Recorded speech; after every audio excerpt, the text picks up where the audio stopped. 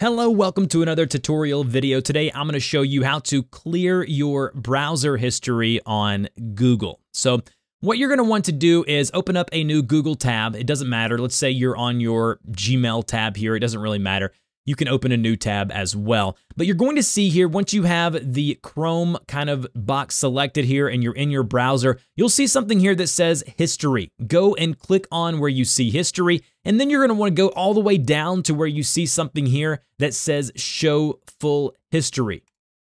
You can also get to your history by going to the three vertical dots in the upper right hand corner here, and then you'll see something again here that says history. You just hover over that and then go to show full history, just like you would over here.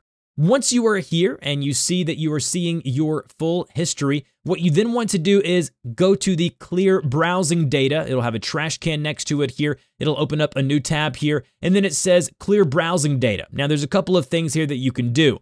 Under basic, we can clear our browsing data uh, for all time, which will basically give us a, a, clean slate. So any browsing data or history or sites we've been to for all time on that browser will be removed. Now, we can select a drop down and just do the last hour, just do the last 24 hours, again, depending on the time frame that you want to do. Uh, whenever I do this, I also check the cookies and other site data and cached images and files. This will clear up other stuff and hopefully speed up your browser as well.